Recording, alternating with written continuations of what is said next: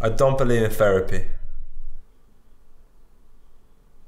But I just gotta get this off my chest. And you're not telling anyone. I stood in the doorway, knife and everything. I was going to kill her. But you know what stopped me? Well, she was sleeping in her favorite chair, really peacefully. It actually looked like she was dead. That did it for me. I turned away from her.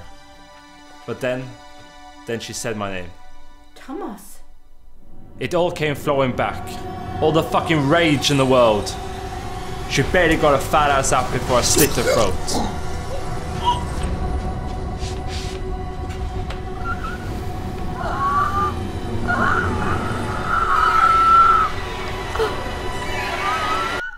That said,